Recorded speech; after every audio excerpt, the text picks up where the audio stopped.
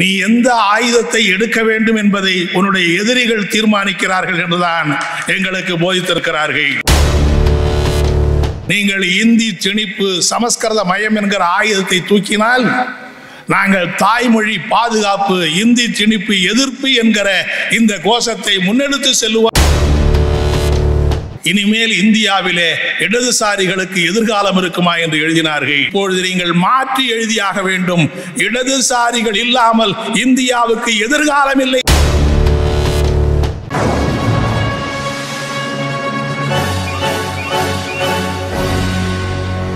Marxist communist கட்சியினுடைய தோழர்கள் நெஞ்சுறுதி உள்ளவர்கள் என்பதை எடுத்து காட்டுகிற வகையில் அரங்கமே நிறைந்து வழிகிற அளவுக்கு இந்த மாநாடு எழுச்சியோடு நடைபெற்றுக் கொண்டிருக்கிறது. இன்னைக்கு மத்தியிலே அமைந்திருக்கிற பாரதிய ஜனதா கட்சி ஆட்சி ஒரு பக்கம் இந்த நாட்டினுடைய பொருளாதாரத்தை நாசப்படுத்தி கொண்டிருக்கிறது. அதை எதிர்த்து இன்றைக்கு நெஞ்சுறுதியோடு போராடுகிற இயக்கம் இந்தியாவிலே எது என்று சொன்னால் இடதுசாரிகள் மார்க்சிஸ்டுகள் தான். ஏனென்றால் மற்றவர்கள் அத்தகைய போராட்டத்தை எதிர்த்து கொல் கொடுக்கிற அப்படிப்பட்ட நிலைமை இல்லை என்கிற நிலைமை என்பது இருக்கிறது. அதே போல இன்றைக்கு அவர்கள் கலாச்சாரத்துறையிலே இந்தி திணிப்பு சமஸ்கிருத மயம் என்கிற அப்படிப்பட்ட ஆயுதத்தை கையில் எடுக்கிற போது எங்களுக்கு போதித்திருக்கிற ஆசான்கள் நீ எந்த ஆயுதத்தை எடுக்க வேண்டும் என்பதை உன்னுடைய எதிரிகள் தீர்மானிக்கிறார்கள் என்றுதான் எங்களுக்கு போதித்திருக்கிறார்கள். ஆகவே நீ எந்த ஆயுதத்தை எடுத்தாலும் சரி அதற்கு எதிர்த்து போராடுகிற ஆயுதத்தை ஏந்துவதற்கு நாங்கள் தயார் என்கிற முறையிலே தான் நீங்கள் இந்தி திணிப்பு சமஸ்கிருத மயம் என்கிற ஆயுதத்தை தூக்கினால் நாங்கள் தாய்மொழி பாதுகாப்பு இந்தி திணிப்பு எதிர்ப்பு என்கிற இந்த கோஷத்தை முன்னெடுத்து செல்லுவோம் என்கிற அப்படிப்பட்ட நிலைமையை நாங்கள் இந்த மாநாட்டின் மூலம் உருவாக்கி இருக்கிறோம் ஆகவே இன்றைக்கு நான் இங்கே சொல்ல விரும்புவது என்னவென்று சொன்னால் ஒரு பக்கம் பொருளாதாரத்தை நாசப்படுத்தி இருக்கிற அந்த கொள்கைகளை எதிர்த்த போராட்டம் இன்னொரு பக்கம் பண்பாடு கலாச்சாரம் மொழி என்கிற அப்படிப்பட்ட அந்த அம்சங்களிலே இருக்கிற அவர்களுடைய அந்த பழமைவாத கருத்துக்களை எதிர்த்த போராட்டம். இந்த இரண்டு போராட்டங்களையும் இணைத்து நடத்துகிற இயக்கம் இந்தியாவிலே மார்க்சிஸ்ட் கம்யூனிஸ்ட் கட்சி என்கிற பெருமை நமக்கு உண்டு என்பதை நான் சுட்டிக்காட்ட விரும்புகிறேன். நாடாளுமன்ற தேர்தல் முடிந்த போது சில பேர் எழுதினார்கள் இனிமேல் இந்தியாவிலே இடதுசாரிகளுக்கு எதிர்காலம் இருக்குமா என்று எழுதினார்கள். நான் அவர்களுக்கெல்லாம் சொல்ல விரும்புகிறேன். இப்பொழுது நீங்கள் மாற்றி எழுதியாக வேண்டும். இடதுசாரிகள் இல்லாமல் இந்தியாவுக்கு எதிர்காலம் இல்லை என்று சொல்லுகிற அப்படி எழுதிய பாட்டு எழுத வேண்டும் என்கிற நிலைமை இன்றைக்கு உருவாகி இருக்கிறது என்பதைத்தான் இங்கே தெரிவித்துக் கொள்ள விரும்புகிறேன். ஆகவே இன்றைக்கு மொழி திணிப்பு என்பது ஒரு மொழி திணிப்பு மட்டுமல்ல.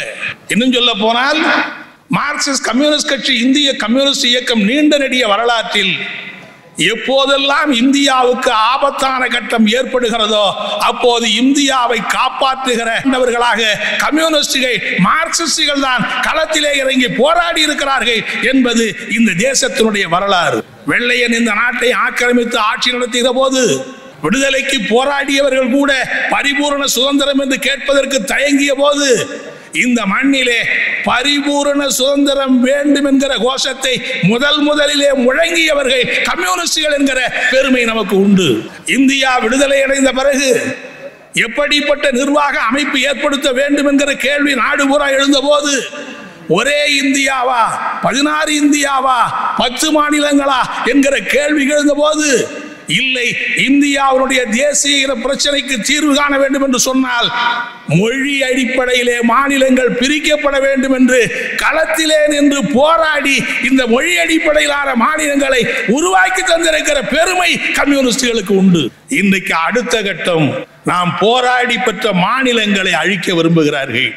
நாம் போராடி பெற்றிருக்கிற மொழி உரிமைகள் எல்லாம் அழிக்க விரும்புகிறார்கள். எனவே இந்தி திணிப்பு என்பது வெறும் மொழி திணிப்பு அல்ல. அது ஒரு பண்பாட்டு ரீதியான போராட்டம். இந்தி மொழி இந்தி திணிப்பு என்பது வெறும் மொழி திணிப்பு அல்ல. மாநிலங்களை அழிக்கக்கூடிய ஒரு போராட்டத்தினுடைய ஒரு பகுதி அது. ஒரு நாள் ராத்திரியிலே ஒரு அரை மணி நேர உத்தரவிலே காஷ்மீரத்தை தலைகீழாக புரட்டி போட்டு விட்டார்களே. இன்னும் எத்தனை ஆண்டு காலமாகும் தமிழகத்தை புரட்டி போட இந்தியாவை புரட்டி போட எவ்வளவு காலம் தேவைப்படும்?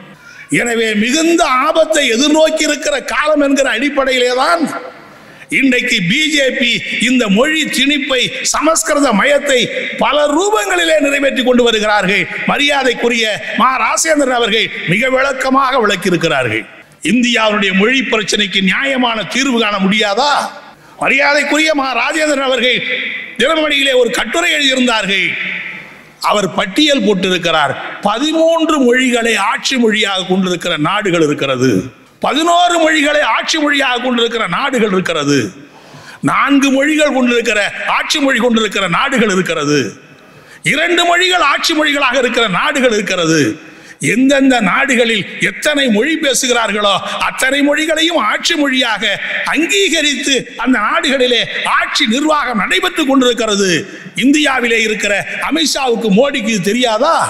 இன்னும் சொல்ல போனால் அவர் இன்னொன்றையும் நான் தொலைபேசியை கேட்டபோது சொன்னார். வெறும் ஆட்சி மொழி மட்டும் இல்லை தோழரே.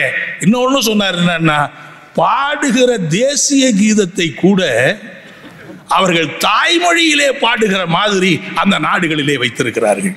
நம்மளும் வந்து ஜனகன மனகதி ஜனகன மனகதி பாடிக்கிட்டே இருக்கிறோம். யாருக்காவது அது அர்த்தம் என்னன்னு தெரியுமா? யாருக்காவது அதுக்கு என்ன விவரம்னு தெரியுமா? ஏன் இந்தியாவிலே இருக்கிற அந்த தேசிய கீதத்தை அந்தந்த மொழியிலே மாற்றி பாடக்கூடாதா? எனவே இப்படியெல்லாம் உலக அனுபவங்கள் இருப்பதை இன்றைக்கு பலரும் சுட்டி காட்டியிருக்கிற போது இந்தியாவினுடைய ஒரே ஆட்சி மொழி இந்தி என்று சொன்னால் அதை எப்படி ஏற்றுக்கொள்ள முடியும் என்பதுதான் இன்றைக்கு இருக்கிற கேள்வி. அரசியல் சட்டத்தை உருவாக்குகிற போதே அன்றைக்கு ஏற்பட்டுவிட்ட தவறு இன்றைக்கும் காரணமாக இருக்கிறது. பதினேழாவது அட்டவணையில இருக்கிற முன்னூத்தி நாற்பத்தி மூணாவது பிரிவிலே மிக தெளிவாக சொல்லுகிறார்கள் இந்தியாவினுடைய நிர்வாக மொழி அலுவலக மொழி இந்தி மட்டுமே என்று சொல்லுகிறார்கள். எனவே நாம் நடத்துகிற இந்த போராட்டம் வெறும் தீர்மானம் அல்ல இந்தியாவிலே இருக்கிற இந்த அனைத்து மொழிகளையும் எட்டாவது அட்டவணையிலே இருக்கிற அனைத்து மொழிகளையும் மத்திய ஆட்சி நிர்வாகத்திலே சமத்துவத்தை கொடுப்பதற்கான ஒரு மகத்தான போராட்டத்தை தான் நாம் இன்றைக்கு இங்கே துவங்கி இருக்கிறோம் என்பதை நான் தெரிவித்துக் கொள்ள விரும்புகிறேன். இன்னும் நிறைய விஷயங்களுக்குள்ளே நான் போக வேண்டிய அவசியம் இல்லை இன்னும் சொல்ல போனால் தமிழ்நாட்டுக்கு ஒரு பாரம்பரியம் உண்டு. இந்தி திணிப்பை எதிர்த்து போராடிய ஒரு மகத்தான வீர போராட்டத்தை நடத்திய பெருமை தமிழ்நாட்டுக்கு உண்டு. ஒரு மொழி போராட்டத்தின் மூலமாகவே ஒரு ஆட்சி மாற்றத்தை ஏற்படுத்திய மாநிலம் தமிழ்நாடு. இந்தி திணிப்பை எதிர்த்து இந்த நாட்டிலே நடந்த போராட்டத்திலே திராவிட இயக்கங்களுக்கு இருக்கிற பங்கினை நாம் நிராகரிக்கவில்லை. அந்த பங்கு அவர்களுக்கு நிச்சயமாக உண்டு என்பதை அங்கீகரிக்கிறோம் நாம். ஆனால் இன்றைக்கு நிலைமை என்று இந்தி என்கிற இடத்திலே ஆங்கிலம் இருக்கிறதே தவிர அந்த இடத்திலே தமிழ் இருக்கிறதா? ஏன் தமிழ் தாய்மொழி பாதுகாப்பு என்று சொல்லுகிறோம்? மழலையர் பள்ளியிலே கூட இன்றைக்கு தமிழ் கிடையாது. அறுபது சதமான மாணவர்கள் படிக்கக்கூடிய சிபிஎஸ்இல மத்திய நம்முடைய மெட்ரிகுலேஷன் பள்ளியிலே தமிழ் உள்ளேயே போக முடியாது. உயர்நீதிமன்றத்துக்குள்ளேயே தமிழ் போக முடியாது தமிழ்நாட்டில். ஹைதராபாத்திலே தெலுங்கு போக முடியாது. திருவனந்தபுரம் நீதிமன்றத்திலே மலையாளம் போக முடியாது. எனவே ஆங்கிலம் படிப்பது தவறா சரியா என்ற வாதத்துக்குள்ளே நான் போக விரும்பவில்லை. படிக்கட்டும் நாம் தீர்மானத்திலே தெளிவாக சொல்லியிருக்கிறோம். யார் எந்த மொழியை விரும்புகிறார்களோ அவர்கள் படிப்பதற்கு உரிமை இருக்கிறது. அந்த உரிமையை அரசாங்கம் செய்து கொடுக்க வேண்டும் என்று சொல்லி இருக்கிறோம் இன்னும் சொல்ல போனால் தமிழ்நாட்டிலே ஒரு சட்டம் நிறைவேற்றி இருக்கிறார்கள் என்ன சட்டம் என்று சொன்னால் கட்டாய தமிழ் பாட சட்டம் என்கிற ஒரு சட்டம் இருக்கிறது. அந்த சட்டம் இப்போது அமுல் இருக்கிறதா? அது நிறைவேற்றப்படுகிறதா?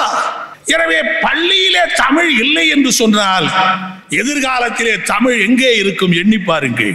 கல்லூரியிலே தமிழ் மறந்து ரொம்ப நாள் ஆகிவிட்டது பொற்கோ அவர்கள் சொன்னார்கள் தமிழ் படிப்பதற்கு பல பேர் ஆர்வம் இல்லை என்று சொல்லுகிறார்கள். அவர் சொன்னார் நான் இதை ஏற்றுக்கொள்ள மாட்டேன். வேலை வாய்ப்பு அதிகமாக இருக்கிற தொழிற்கல்வியாக இருக்கிற மருத்துவம் பொறியியல் வேளாண்மை இவைகளிலே தமிழ் படிப்பை கொடுக்காமல் நீங்கள் மாணவர்கள் தமிழிலே படிக்க வேண்டும் என்று சொன்னால் எப்படி படிப்பார்கள்? எனவே வேலை வாய்ப்பு அளிக்கக்கூடிய அப்படிப்பட்ட கல்வியிலே தமிழை கொண்டு வர முடியாதா? தமிழ் பாடம் கொடுக்க முடியாதா? எனவே இன்றைக்கு தாய்மொழியை பாதுகாப்பதற்கு மேடையிலே தமிழ் வாழ்க. எல்லா அலுவலகத்துக்கும் போங்க. தமிழ் வாழ்க என்று போட்டிருப்பார்கள். எங்கும் தமிழ் எதிலும் தமிழ் என்பார்கள். ஆனால் இப்போது எங்கே இருக்கிறது தமிழ்? எதிலே இருக்கிறது தமிழ். மலையாளம் எங்கே இருக்கிறது? கன்னடம் எங்கே இருக்கிறது? எனவே பேராசிரியர் கேசவன் மிக அழகாக சொன்னார். இந்தியை எதிர்த்து போராடினோம். ஆனால் அந்த இடத்திலே ஆங்கிலம் குடிகொண்டு விட்டதே தமிழுக்கு இடமில்லாமல் போய்விட்டது என்று வேதனையோடு சொன்னார் பேராசிரியர் கேசவன் அவர்கள். எனவே இந்தியை எதிர்ப்பது என்பது மட்டும் இன்னும் சொல்ல போனால் அருமை தோழர் அருணன் இங்கே குறிப்பிட்டார்கள். ஆயிரத்தி தொள்ளாயிரத்தி அறுபத்தி எட்டாம் ஆண்டு மத்திய அரசாங்கத்தில் நிறைவேற்றப்பட்டிருக்கிற தமிழ் ஆட்சி மொழி திருத்த சட்ட மசோதாவின் மீது அருமை தோழர் பாலசுப்ரமணியம் அவர்களும் சங்கரையா அவர்களும் பேசினார்கள். மிக தெளிவாக சொன்னார்கள். இவ்வளவு நல்ல மொழி இருக்கிற போது எதற்காக ஆங்கிலத்தை படியுங்கள் என்று கட்டாயப்படுத்துகிறீர்கள்? ஏன் ஆங்கிலம் வேண்டும்? இப்ப சீனாவிலிருந்து சீன பிரதமர் வந்தார். இந்திய பிரதமர் போனாரு. வேட்டி சட்டையெல்லாம் போட்டு போனாருங்கிறது உண்மைதான். ஆனால் அவர் என்ன ஆங்கிலத்திலேயே பேசிக்கொண்டார்கள். அவர் சைன மொழியிலே பேசுகிறார் இவர் இந்தியிலே பேசுகிறார் இடையிலே இருக்கிற மொழிபெயர்ப்பாளர் அவர்களுக்கு மொழிபெயர்க்கிறார்கள். எனவே உலகின் பல நாடுகளில் இந்தியாவிலே இருக்கிற தமிழ்நாட்டில் இருக்கிற மாணவர்கள் ரஷ்யாவுக்கு போகிறார்கள் மருத்துவத்தை ரஷ்ய மொழியிலே படிக்கிறார்கள் இங்கே வந்து வைத்தியம் செய்கிறார்கள். வேறு பல சைனாவுக்கு போகிறார்கள். சீன மொழியை கற்றுக்கொண்டு மருத்துவம் படிக்கிறார்கள். இங்கே வந்து டாக்டர்களாக இன்றைக்கு பணிபுரிகிற அப்படிப்பட்ட நிலைமை இருக்கிறது. சீன மொழியிலே மருத்துவம் இருக்கும். ரஷ்ய மொழியிலே மருத்துவம் இருக்கும். தமிழ் மொழியிலே மருத்துவம் வராதா? என்ஜினியரிங் கல் பொறியியலிலே தமிழ் வராதா? பாலிடெக்னிக்கிலே கூட ஆய் தமிழ் கிடையாது. அல்லது ஐடிஐயிலே கூட இன்றைக்கு தமிழ் கிடையாது என்று சொன்னால் பள்ளிகளிலே இன்றைக்கு படிப்பிலே தமிழ் இல்லாவிட்டால் எழுதி வைத்துக் கொள்ளுங்கள். நாளைக்கு தமிழ் என்பது எதிலையுமே இருக்காது. இந்திய தமிழ்நாட்டிலே ஆட்சி மொழி நான் விவரங்களுக்குள்ள நீண்ட நேரம் பேச முடியும். ஆட்சி மொழி சட்டத்திலே என்ன சொல்லி இருக்கிறார்கள் ஐம்பத்தி ஆறில் நிறைவேற்றப்பட்டிருக்கிற ஆட்சி மொழி சட்டத்திலே சொல்லி இருக்கிறார்கள் அது தமிழை ஆட்சி மொழியாக கொண்டு வர வேண்டும் என்பதற்காக நிறைவேற்றப்பட்ட சட்டம் தான் அது. தமிழ்தான் தமிழ்நாட்டினுடைய ஆட்சி மொழி. முதல் பாராவிலே சொல்லுகிறார். ரெண்டாவது பாராவில் என்ன சொல்றாங்க தெரியுமா? ஆனால் ஆங்கிலம் எப்போதும் போல அதனுடைய ரெண்டாவது மொழியாக தொடரும். மூணாவது பாரா என்ன சொல்றாங்க தெரியுமா? அதுல என்ன சொல்றாங்கன்னா தமிழ் மொழி உறுப்பில் வேறு ஏதாவது பிரச்சனை வந்துவிட்டால் இறுதியான முடிவு ஆங்கிலத்தில் அடிப்படையிலே தான் அந்த அரசாணை ஏற்றுக்கொள்ள முடியும் என்று தமிழ்நாட்டிலே போட்டிருக்கிற அந்த சட்டம் சொல்லுகிறது. எனவேதான் இன்றைக்கு இந்தி திணிப்பை நாம் எந்த அளவுக்கு எதிர்க்கிறோமோ அந்த அளவுக்கு வலுவாக இன்றைக்கு தமிழ் தமிழ் மலையாளம் தெலுங்கு கன்னடம் என்கிற அந்த தாய்மொழி பாதுகாப்புக்காக குரல் கொடுக்க வேண்டிய அவசியம் இருக்கும்? இல்லை என்றால் உலகத்திலே பல மொழிகள் அழிந்து முகவரி இல்லாமல் போய்விட்டது. பல பாரம்பரிய மொழிகளே கூட இன்றைக்கு பேச்சு மொழியாக இல்லை எழுத்து மொழியாக இல்லை. இன்னும் பல ஆண்டுகளுக்கு பிறகு தமிழுக்கு அந்த நிலைமை என்பது வரும். உண்மையிலேயே இந்த நேரத்திலே நாங்கள் சொல்லிக்கொள்ள விரும்புகிறோம். இப்படி தமிழை நிலைநிறுத்த தமிழை ஆட்சி மொழியாக்க தமிழை பயிற்று மொழியாக்க ஆயிரத்தி தொள்ளாயிரத்தி ஐம்பத்தி ரெண்டிலேயே சென்னை மாகாண சட்டமன்றத்திலே தமிழ் தெலுங்கு கன்னடம் மலையாளம் என்கிற அந்த மொழிகளையெல்லாம் கலந்து குரல் கொடுத்த வரலாறு இந்தியாவிலே தமிழகத்திலே யாருக்கும் கிடையாது. கம்யூனிஸ்ட் இயக்க தொண்டர்களுக்கு தலைவர்களுக்கு தான் உண்டு. ஏன் இப்போது எடுத்துக்கொள்ளுங்களேன் கீழடியை பற்றி மணிக்கணக்காக பேசுகிறார்கள். பனிரெண்டு கோடி அதற்காக நிதி ஒதுக்கி இருக்கிறார்கள் உண்மையிலேயே மகிழ்ச்சி. ஆனால் அருமை நண்பர்களே இந்த மகத்தான சாதனைக்கு யார் காரணம்? இன்றைக்கு செயின்ட் ஜார்ஜ் கோட்டையும் டெல்லியில இருக்கிற செங்கோட்டையும் அந்த கீழடியை இன்றைக்கு அங்கீகரிக்க வைத்த முடிகிறது என்று சொன்னால் அருமை தோழர் வெங்கடேசனுடைய மகத்தான சாதனை இல்லையாது வேறு யாராவது அதை கொண்டாட முடியுமா?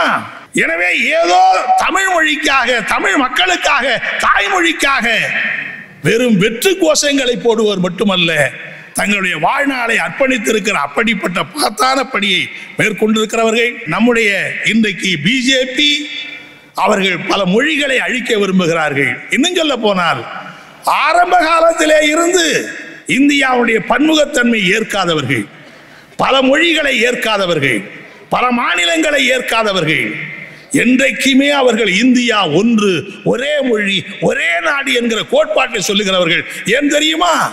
மொழி அடிப்படையிலே ஒருவன் திரண்டு விட்டால் மத பிரிவினைக்கு இடமில்லாமல் போய்விடும். இன அடிப்படையிலே ஒருவன் திரண்டு விட்டால் மத மோதலை அல்லது மத வேறுபாட்டை அவ்வளவு சீக்கிரமாக உருவாக்க முடியாது. ஆகவே தான் ஆயிரத்தி தொள்ளாயிரத்தி இருபத்தி ஐந்தாம் ஆண்டிலே இருந்து தெளிவாக இருக்கிறார்கள் இந்தியாவிலே ஒரே மொழி ஒரே நாடு என்கிற அந்த தத்துவார்த்த நிலையில் இருக்கிறார்கள். வெறும் பிஜேபியுடைய அரசியல் கோஷம் அல்ல ஆர்எஸ்எஸ் அடிப்படை தத்துவார்த்த நிலைப்பாடே இந்த நிலைப்பாடுதான். எனவேதான் தாய்மொழி காப்பாற்றப்பட வேண்டிய ஒரு அவசியமான காலகட்டத்திலே இருக்கிறோம். இந்தி திணிப்பை இன்றைக்கு தடுத்து நிறுத்துகிறோம். இதன் மூலம் மத்தியிலே இருக்கிற பிஜேபி ஆர்எஸ்எஸ் தொடுக்கக்கூடிய அந்த பண்பாடு ரீதியான போராட்டத்தை அவர்களை களத்திலே சந்திப்பதற்கு உறுதியேற்கிற மாநாடாக இந்த மாநாடு நடந்திருக்கிறது. நிச்சயமாக இங்கே நிறைவேற்றப்பட்டிருக்கிற தீர்மானத்தை தமிழகத்தினுடைய தென் மாநிலங்கள் இருக்கிற அந்த மாவட்ட மக்கள் மத்தியிலே பிரச்சாரம் செய்வதன் மூலம் அவர்கள் சொன்னதை போல ஒருவேளை இந்த மாநாட்டு தீர்மானங்கள் தென் மாநிலங்களுடைய குரலாக இன்றைக்கு வந்தாலும் கூட விரைவிலே அது அகில இந்திய குரலாக பரணி பரிணமிப்பதற்கான வாய்ப்புகள் அதிகம் இருக்கிறது என்பதை இந்த நேரத்திலே சொல்லி விடைபெறுகிறேன். நன்றி வணக்கம்.